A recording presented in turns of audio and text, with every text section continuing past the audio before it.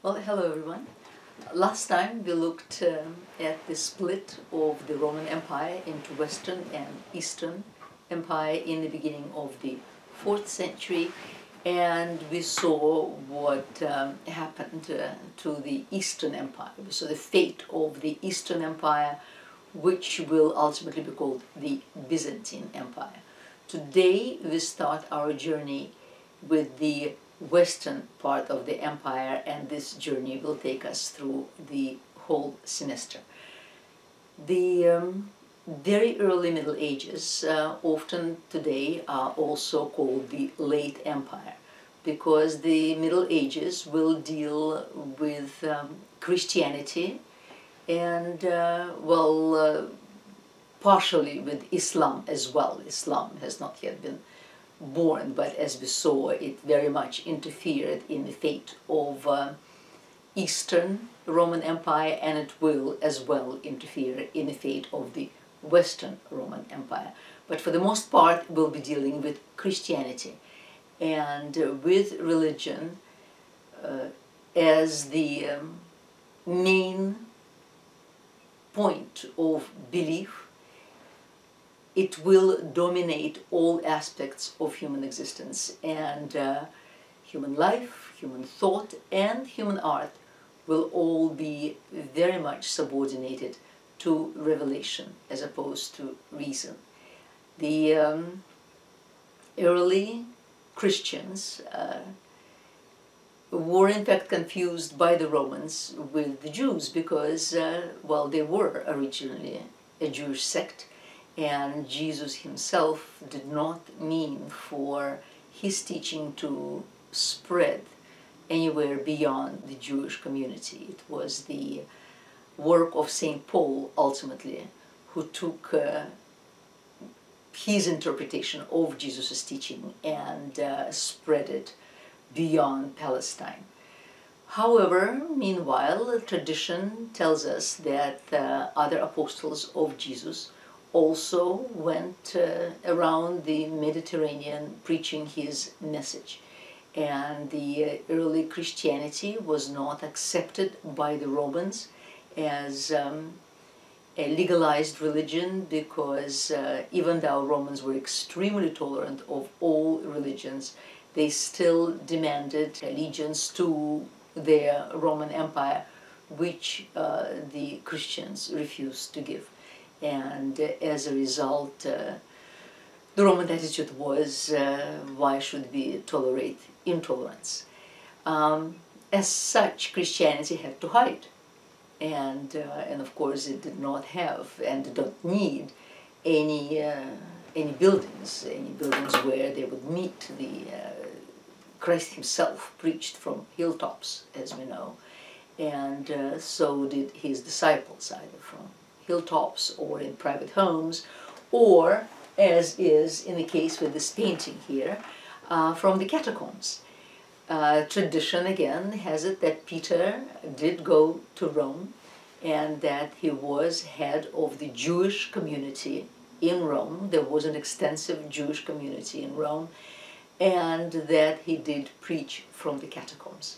And here is a painting by uh, Jan Styka uh, a painter who lived in the 19th century of showing what it may have, may have looked like. Now, the catacombs um, still today form, uh, as it says here, a warren of tunnels and caves under the city of Rome. They were carved um, in the early stages, uh, sometime between the 5th and the 2nd century BC, and they were carved by uh, escaped criminals, escaped slaves, uh, those who wished to hide, uh, and they hid in the catacombs. Uh, later on, uh, the Jews uh, who formed a large community in Rome needed places for burial and used these catacombs for their own burials and then extended them accordingly and then can, they continue to be used uh, by the Christians, uh, who of course were also in hiding. And um, so the network of tunnels and pa passageway dug into the soft volcanic rock beneath uh, Rome were created, as I said, at a relatively early date. They, as, as one can imagine, were dark, damp, uh, riddled with vermin, extremely small, not very convenient um, places. Nevertheless, they came into great use. One can descend into catacombs today and see uh, the uh, likes of this. The um, Christians did not cremate their bodies because they very much believed in the resurrection of the body, in uh, the resurrection of the flesh, in fact, that the bones will acquire flesh at the resurrection, if one is righteous, of course. And as such, the bones had to be preserved, the body had to be preserved. And as you see these niches right there, this is where the coffins were deposited with the bones. And in many of these catacombs, one can see skulls and um, skeletons. They did attempt to decorate these spaces with columns that one would obtain from the outside, and uh, some sort of decoration was attempted. Here is another example. You can see these niches where the boxes, uh, where the coffins were placed. Um, here's another painting by another uh, artist uh, imagining a procession in the catacomb of um, one of the early bishops of Rome, who will later be called Pope, by the name of Calixtus in this case. And this is, he was a bishop of Rome from the early um, 3rd century till um, 223, right here. And uh, they would build makeshift altars there and conduct their ceremonies, all in the catacombs. So catacombs are of great historical importance, well, uh, as well as artistic importance to us, of course. This is uh, a, catacomb of uh, St. Peter and Marcellinus. Um, the saints that we hear about, the early saints, were also buried there. In fact, um, both St. Peter and St. Paul, after being martyred, were buried there and uh, the um, bones of St. Peter presumably were then transferred to the Vatican Hill where they are still interred again presumably. So for the first 300 years it was an underground religion. Here in fact you can see the skulls. But in these catacombs they did attempt uh, illustration of their art. Now we must remember that, of course, the Christians did not have any tradition of art. Therefore, whatever they did, they looked back at the um, at the tradition of um, of the Romans, at the tradition of the Greeks, at the classical tradition. Yet those among them who attempted to do these paintings were not skilled painters, so they could only imitate what they had seen. And uh, in this case, this is a ceiling done in fresco, and in the middle of the ceiling is um, uh, Christ the Shepherd, here in fact, Christ the Shepherd, the Good Shepherd, and uh, then around Christ there are various scenes from the Old Testament, and uh, because uh, the early Christians were very eager to base all their beliefs on the deep tradition of the Old Testament. And in this case, we see Jonah sort of as a classical nude because rules had not yet been set as to what was accepted, what was not accepted in art. Classical nude right here on a ship. Then he's cast from the ship and spends three days in the whale, as you see here, then is spit out by the whale, and this was uh, interpreted as uh, presaging of um, the uh, of Christ's resurrection. That after Christ's crucifixion on the third day, he was resurrected just as Jonah was um, then spit out by by the whale. The tradition of uh, the Good Shepherd was very common in classical art because, well, most societies were agricultural societies and um, pastoral societies and uh, sheep and lamb and uh, cattle would be lost and would have to be uh, found and brought back. And a number of uh, classical gods uh, like Hermes for instance were often seen as um, patrons of uh, pastoral existence and bringing back these um, these animals. Uh, so the good shepherd is uh, was uh, borrowed by the Christians as the shepherd who oversees uh, his flock. Uh, we also see scenes of the Last Supper right here. We see scenes as well from uh, the Colosseum, uh, where Christians were on rare occasions uh, used as a bait for the wild beasts. The um, persecution of Christians was not, in fact, as continuous and as frequent as the uh, later Christian writers would have us believe, because, uh, well, ultimately the Romans were very tolerant and uh, only in extreme cases such as for instance the burning of Rome where Nero had to uh, find uh, a scapegoat that uh, Christians were blamed for instance and persecuted. It was during Nero's reign in fact that uh, it is said that both Saint Peter and Saint Paul were executed. Saint Peter by upside down crucifixion and St. Paul as a Roman citizen by beheading. Um, from Italy, we now travel back to Syria, to a little town of Dura Europos. It was a small garrison, a Roman garrison and trading city on the river of Euphrates, right here, in the Eastern Roman Empire. And um, it changed hands between the Parthians and the Romans, but it was Roman from about the middle of the second century to the middle of the third century.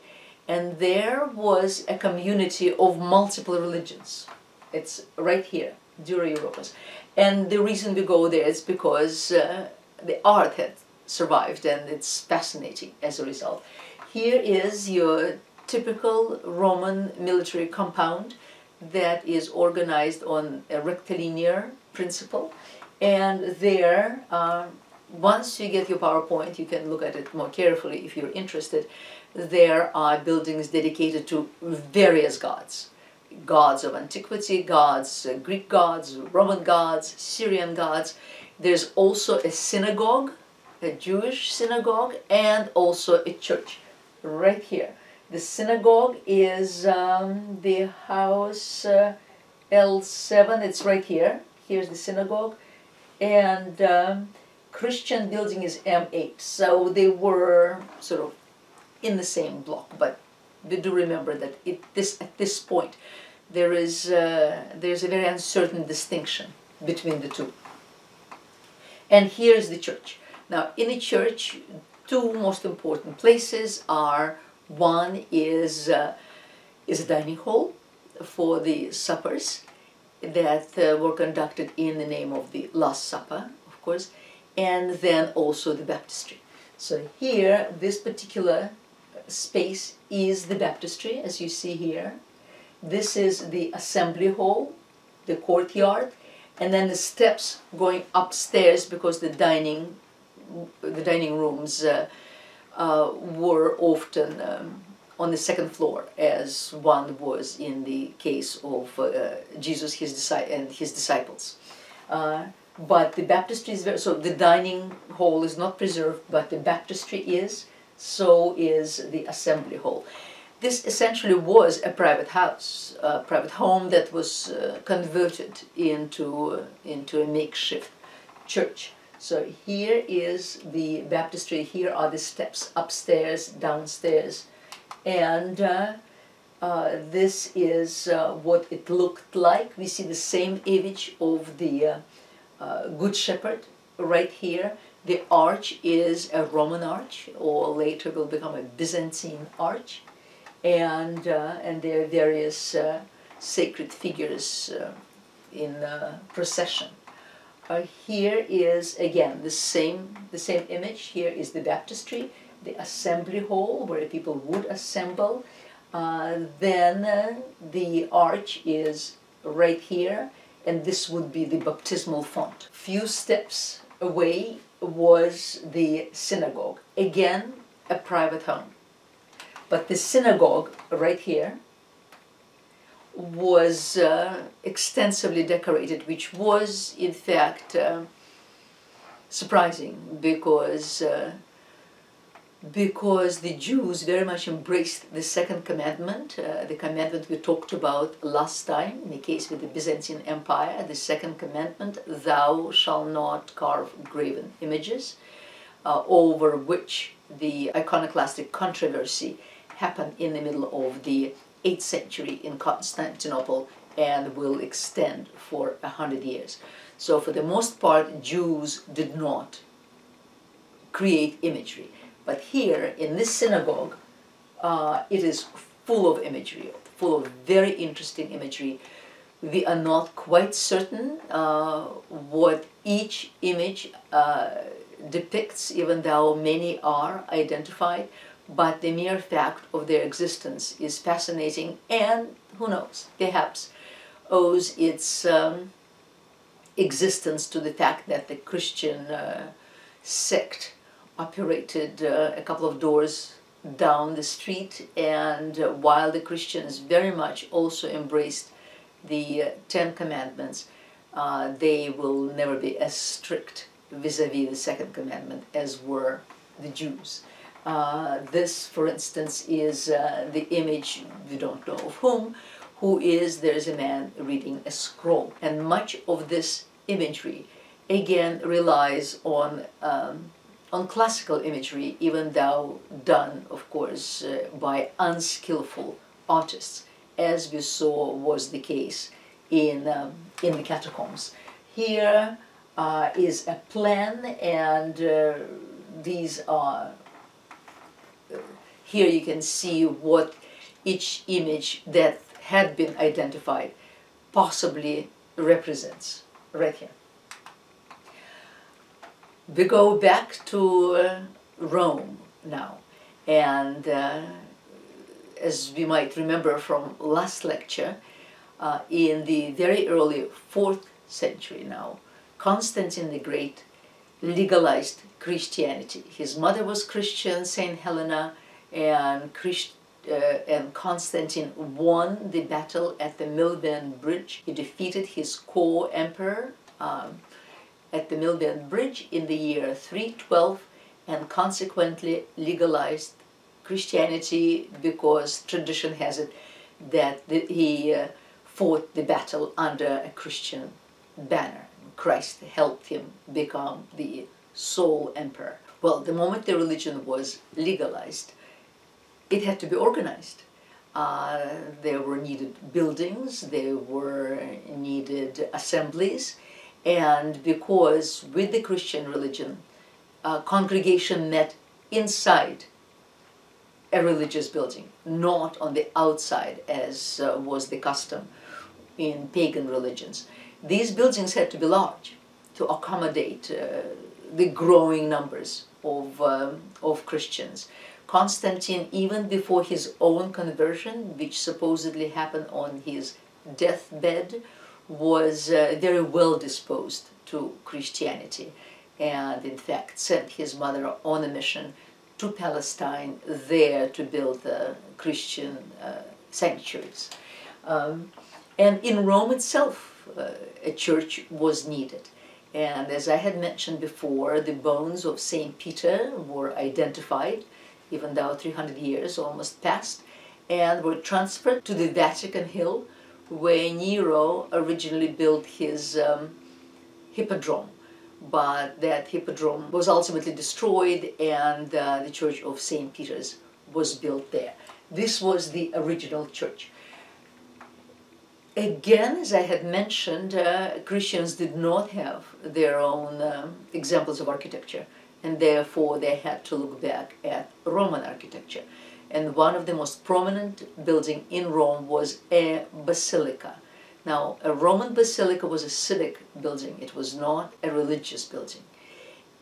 But, um, but the Christians felt that it suited their purposes and as such they adopted the basilica. This is the basilica right here with the front court and it could indeed accommodate many people. In fact, so many there were by that time in Rome that the Christians felt it was necessary, in fact, to add a separate wing, so to speak, to the basilica. As you see here, later on, it will be called a transept. And on, uh, on the side, there would be a baptistry that traditionally was, uh, was round. Here is a plan. Uh, if you exclude the transept, then this is a typical plan of a Roman basilica with two aisles or maybe one aisle each on each side and a nave. A nave uh, takes its name from the Roman word for a ship and the Christian church was Christ's uh, ship. And then uh, with the Roman basilica, for the most part, entrances were on the sides and then two apses were on each longitudinal end uh, where sculptures of emperors or important uh, men of Rome uh, were placed, whereas here the Christians utilized the apse for, for their altar and then uh, uh, transferred the entrance to the west side, to one side. Now, the windows that one sees here, they were already adopted by the Romans from the Egyptians. And uh, these windows right here are called clerestory windows. One sees them in ancient Egypt, as you see it here, where the central portion of the building was built up above the side aisles and there was pierced, the wall was pierced with windows so light would come into the central portion, in our case, into the nave, as is the case here. Uh, this is uh, a plan of the old Peter that has survived. In the very early 16th century, by that time the basilica was over a thousand years old and one was in, in disrepair. Also the problem was that the foundations were built on a marshy um, terrain and as such could not sustain the building. Well, it did sustain it for a thousand years, but by the early 16th century, it was deemed unsafe. It was, alas, destroyed entirely, and the new St. Peter's was built as we see it today. Alas, because the old St. Peter contained a great deal of spectacular art and mosaics, which, of course, are irretrievably lost today.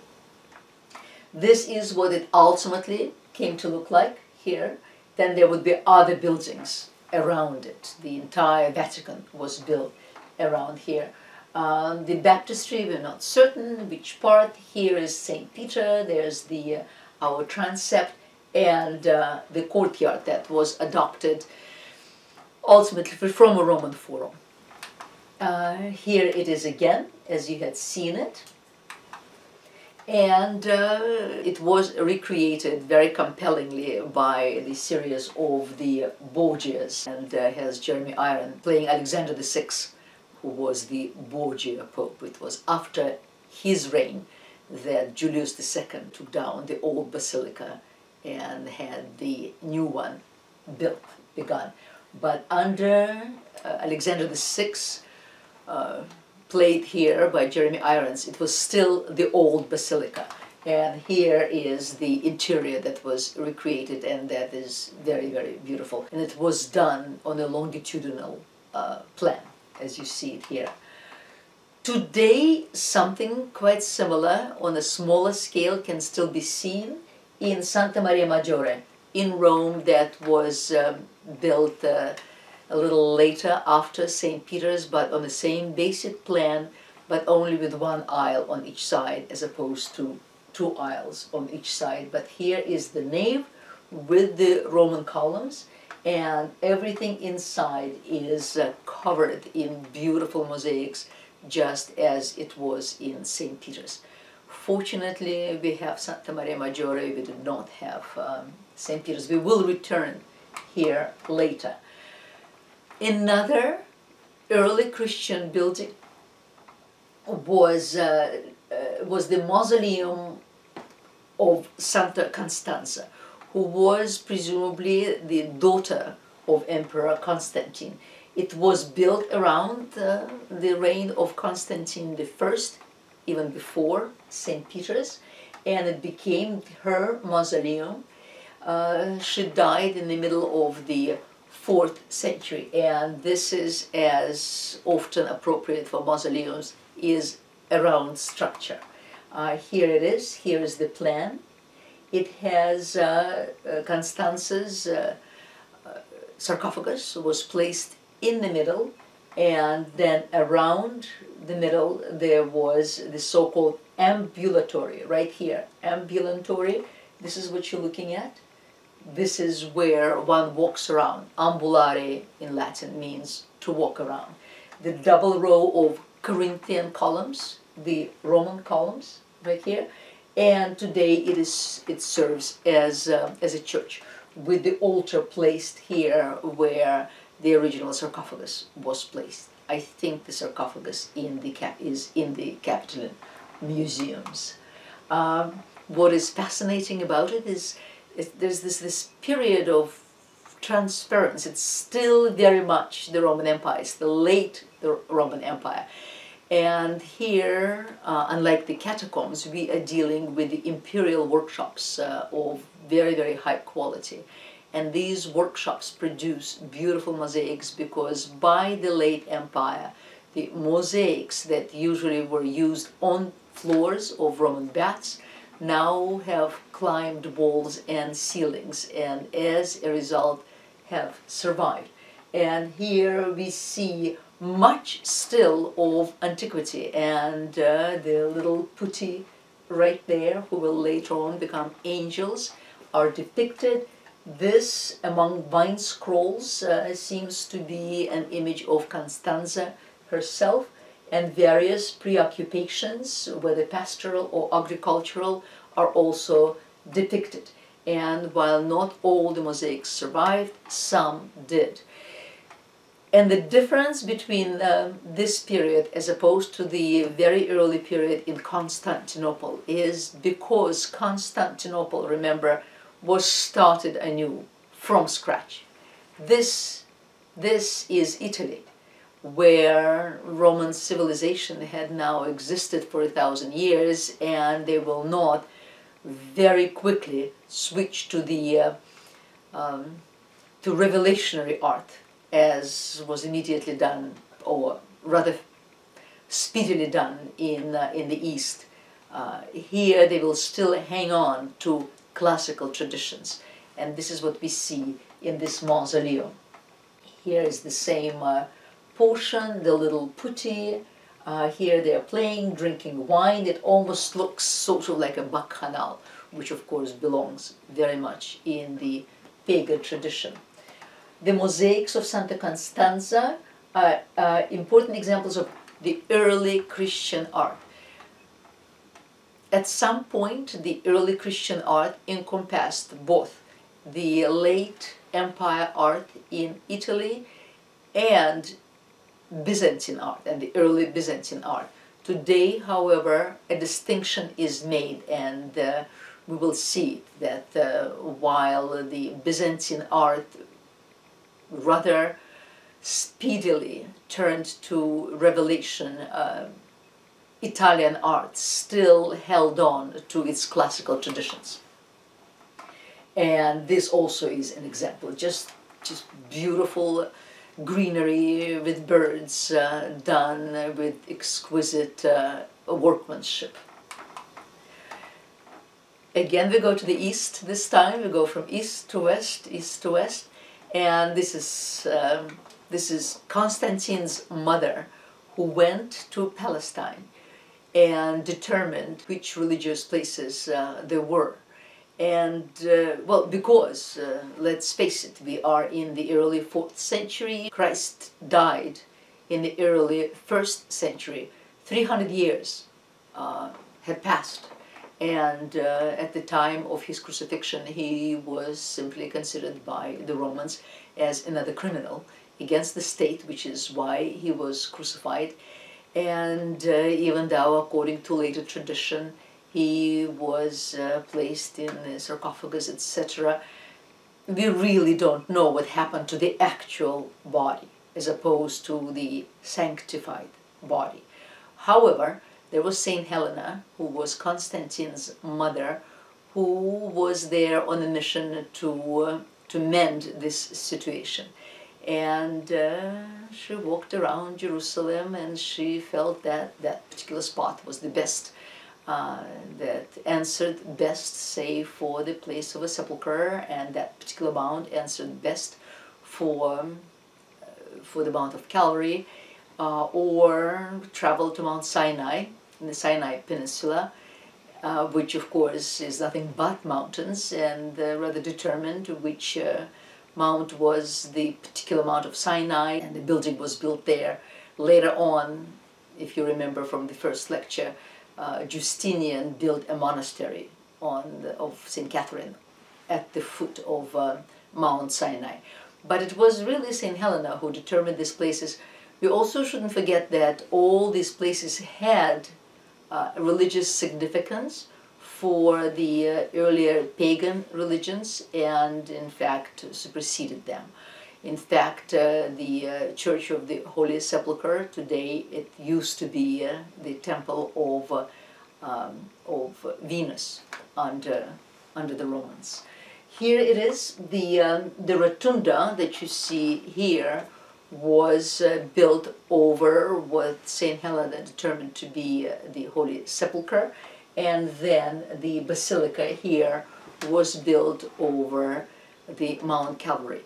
Today, this entire structure is covered with one building. The entrance is still through this double door, and as you walk inside the building, immediately to your right, one uh, goes up to what presumably was uh, the Mount Calvary, Golgotha, the Mount of the uh, Skull, and to one's left, one proceeds into the sepulchre. So, as I said, this is uh, this is really a veritable labyrinth of uh, of various spaces that uh, today are controlled by different Christian religions, whether whether it's Armenian or Eastern Orthodox, Western Orthodox etc. But the space was determined uh, by Saint uh, Helena, and uh, it was nearly completed by the middle of the fourth century. And now I want to make a distinction between East and West.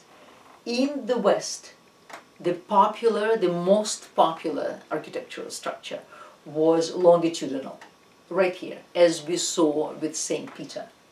And this is what it would look like. They would, they would have a a basilica with a clerestory with a little court in front called atrium and then uh, a basic nave with uh, side aisles, uh, could be two side aisles, one side aisle, but it was a longitudinal uh, structure. And then later on, the uh, transept would also be built there to accommodate more people. Whereas in the east, uh, there would be a central planned church. So Basilica planned church in the west and the central planned church in the east. And uh, from the last lecture, we saw this type in um, the Church of Hagia Sophia, for instance, and uh, we saw this type uh, in, uh, in, the case of uh, San Vitale in Ravenna.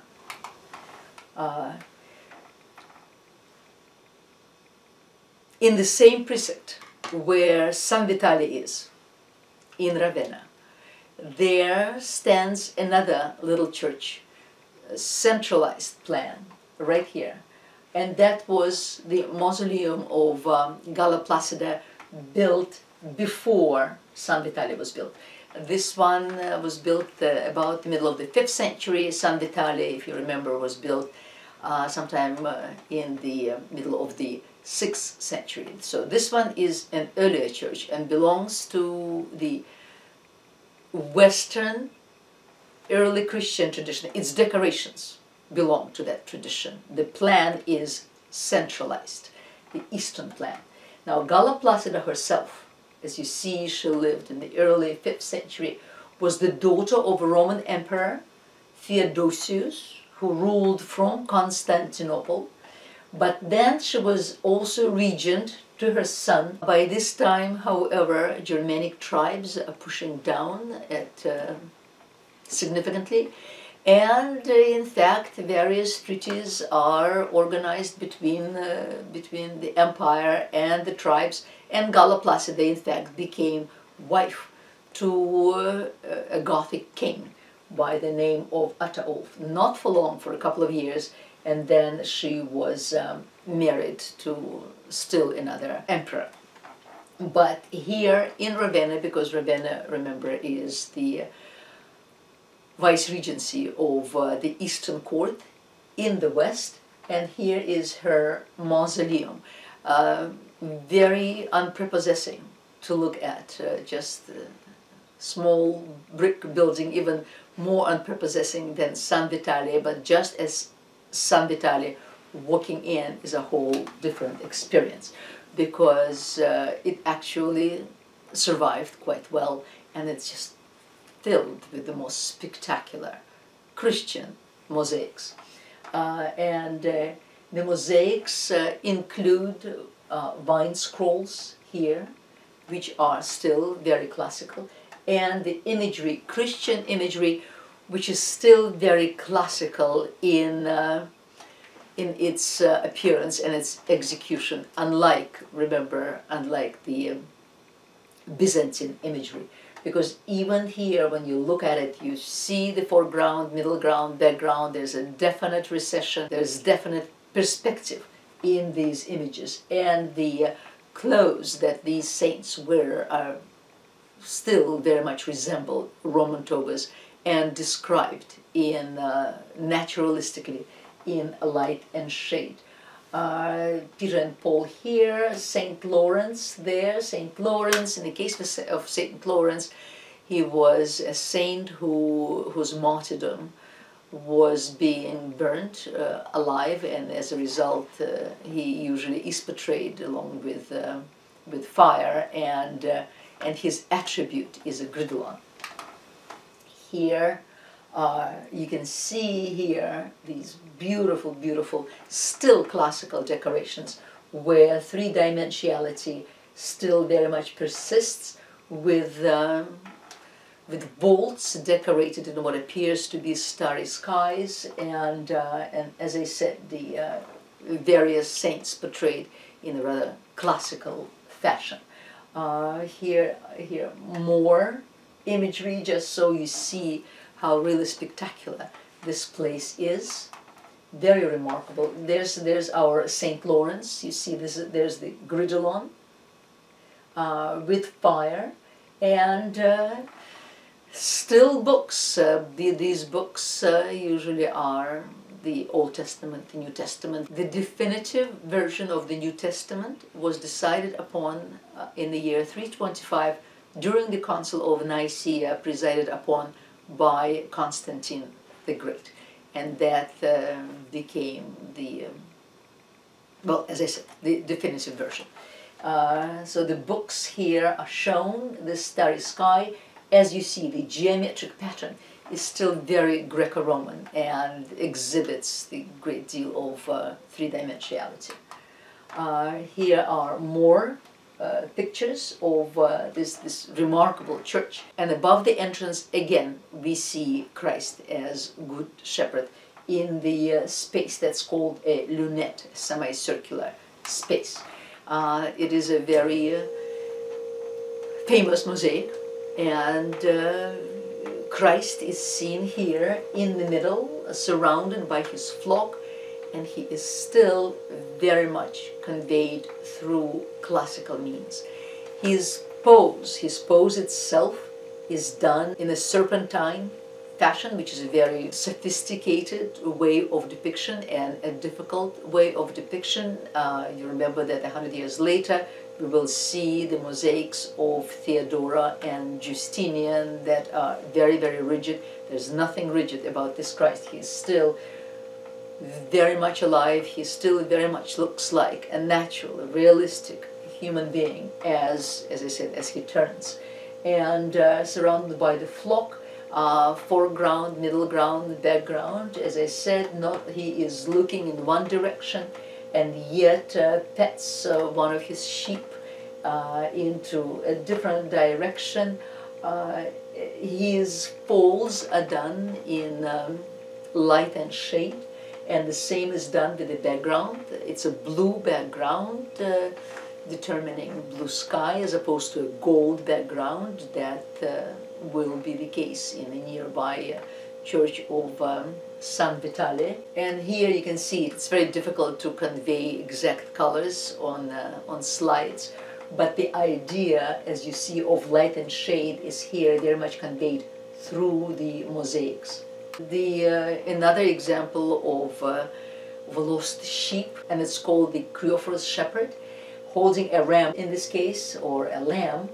Uh, and as I said, it's uh, an iconic uh, image rooted in classical art and very often what Christian artists would do, uh, they would take these iconic images from classical art and recarve heads to convey the image of Christ as say, rather than the image of the uh, classical Hermes. Here is uh, a painting of, uh, again, a, a, typical scene in, in any pastoral society where a shepherd brings back a lost sheep.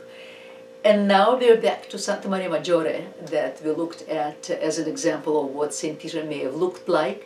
And uh, in, in the case of Santa Maria Maggiore, it is covered with beautiful uh, mosaics right here with scenes from both the Old and the New Testament. Uh, right there in the apse is in the semi-dome uh, we see a later image of Christ crowning his mother, the Virgin Mary, as Queen of Heaven. Uh, but,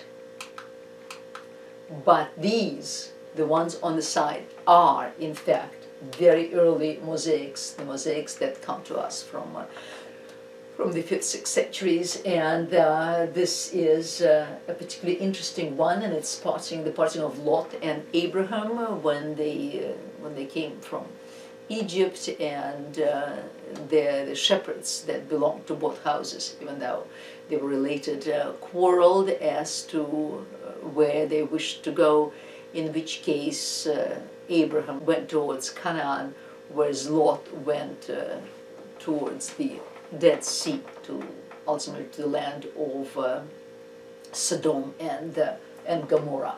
So what you see here are the shepherds at the bottom, at the lower register, and these are the shepherds that quarrel between each other. And then in the upper square, uh, there's Abraham. We know this is Abraham because he is, uh, he, his hand is placed on um, the head of uh, his son Isaac, who was not yet born. So he's, he's, uh, paint, he is um, depicted as a very small child, and this is Lot, whose two daughters right here are depicted next to him. There creeps in uh, the hierarchical uh, principles that we had seen in the Byzantine art and that is of uh, whoever is more important is depicted larger. And even in the case of Lot with his daughters, we don't know what age they are, but uh, they look like two little women and here's Lot and the mosaicist is still attempting to convey the split by showing both going their different ways and a split in the middle. Um, we are entering the age of registers instead of uh, geometrical recession and here presumably closer to us uh, is the register of the of the shepherds and here you see it again there's still an attempt of portraying the folds in uh, lights and darks uh, rather than just uh, uh either black or gold lines rather than just sheer striations.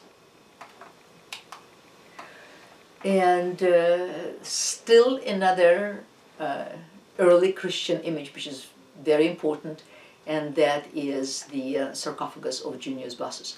Now, Junius Bassus was a Roman prefect. Um, as I said, this is still technically the Roman Empire, the late Roman Empire.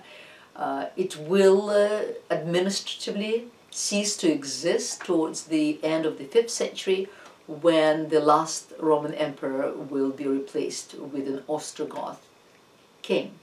But uh, right now, the Roman Empire politically still exists, even though it is becoming more and more Christian and less and less uh, pantheistic.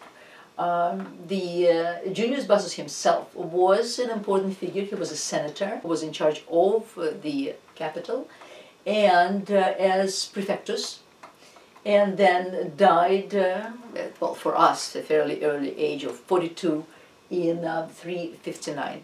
It is unclear when he became um, a Christian. The sarcophagus tells us that he became Christian on his deathbed, but he obviously was uh, very much inclined towards Christianity before that. It's very possible that uh, um, that his family was uh, Christian already, because this sarcophagus is carved with biblical imagery, uh, not with um, Roman or Greco-Roman imagery, as most of the sarcophagi were carved in the second, third century the sarcophagi uh, appeared in uh, the Roman Empire, became very popular in about the second century AD. We don't exactly know why, whether it had to do with advent of Christianity, uh, but uh, the fact is the sarcophagi were becoming more popular. Um, another reason might be because the Roman armies uh, that uh, spent so much time in the East were exposed to various Eastern mysteries, uh, including uh, Mithricism, that was the predominant religion of the Roman army, and uh, the religion of Cybele also, and those mystical religions all preached resurrection, so the body was important. Whatever the reason, uh, in the second century, the sarcophagi began to appear and uh, people began to be inhumed uh, as opposed to cremated. But by this time, uh, this sarcophagus, you see, which was carved in the East, uh, depicts not uh, Roman scenes, not Greco-Roman scenes, not the scenes of fighting or the scenes of uh, mythology, but biblical scenes. And here, they are both the scenes from the Old Testament and the scenes from the New Testament. And here we see a scene from the Old Testament and of Abraham, uh, who is called by uh, his God to sacrifice his son. We saw one of those images uh, last time in the last lecture in uh, San Vitale. And here he is uh, prepared to sacrifice his son right there. There's St. Paul or St. Peter arrested. Jesus sitting on an orb surrounded by uh, Peter and Paul. Here is Jesus himself. This encompasses, in fact, uh, two quadrangles.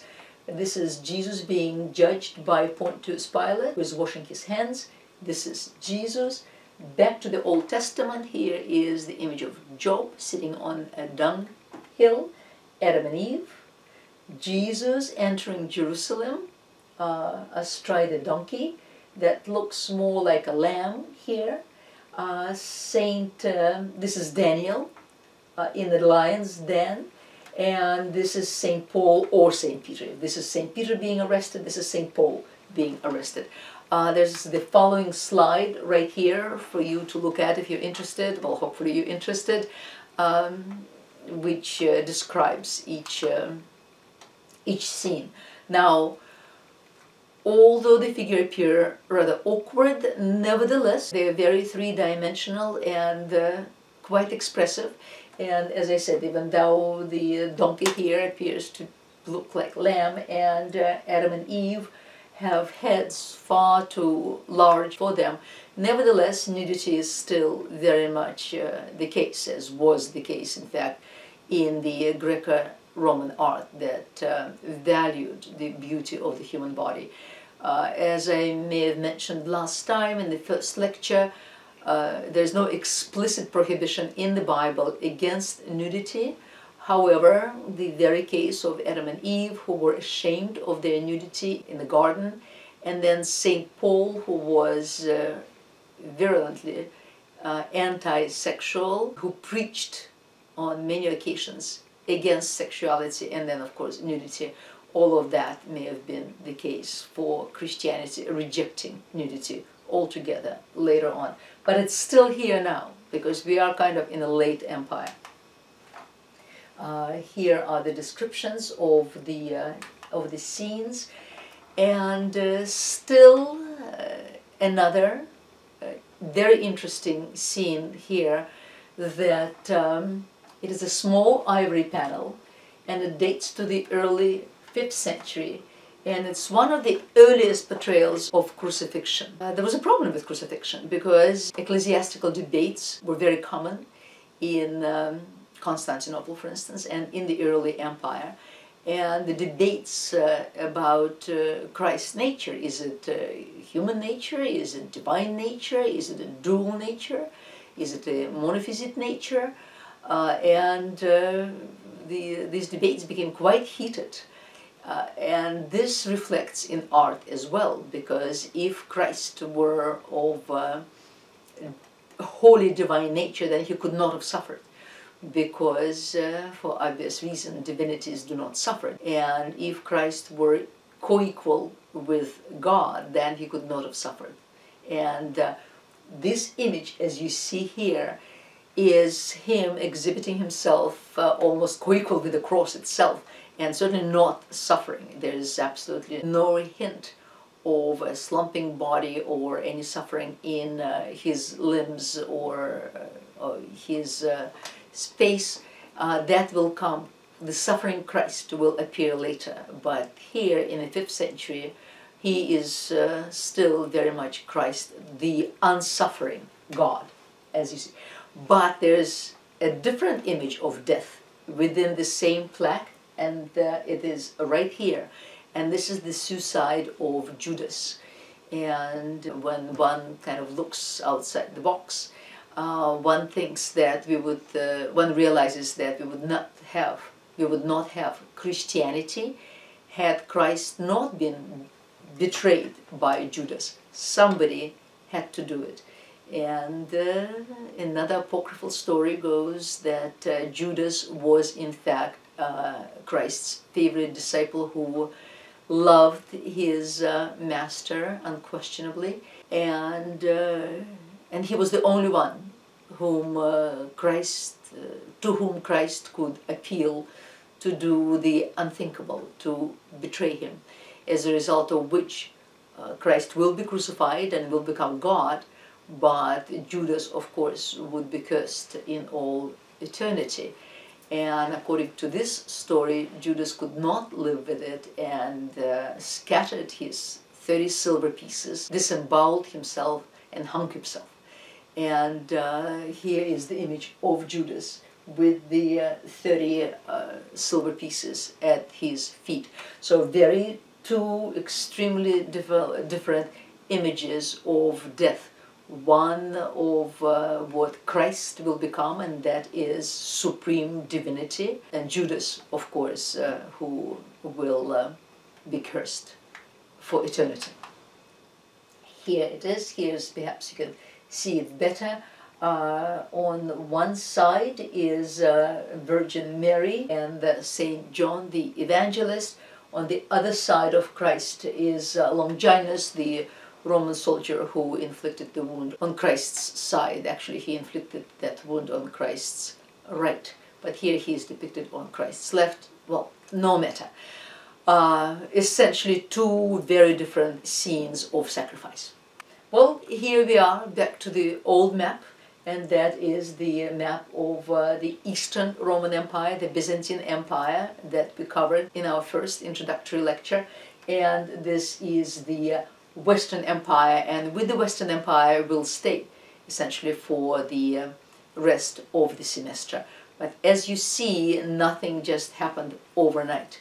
And in the West, where Roman tradition was so incredibly strong, this tradition still prevailed in the early Christian uh, times.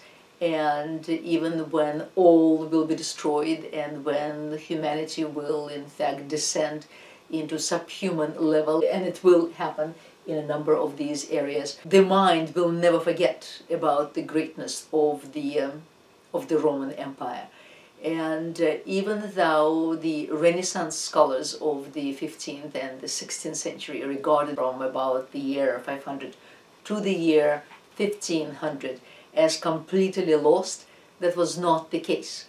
Uh, yes, the years between 500 and 800 could indeed be called the Dark Ages, as the early medieval ages were called.